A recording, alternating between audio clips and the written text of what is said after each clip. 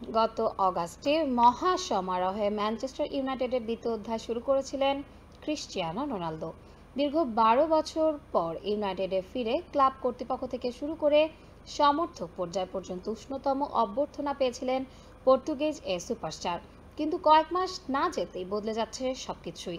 চলতি বছরের শুরু থেকে অফ ফর্ম আর টিম ম্যানেজমেন্টের সঙ্গে বনিবনা না হওয়ায় অনিশ্চয়তা পড়ে গেছে রোনালদোর। ভবিষ্যৎ। বিশেষ করে রবিবারে ম্যানচেস্টার ডার্বি মিস করায়। জোরালো হয়েছে এই গুঞ্জন।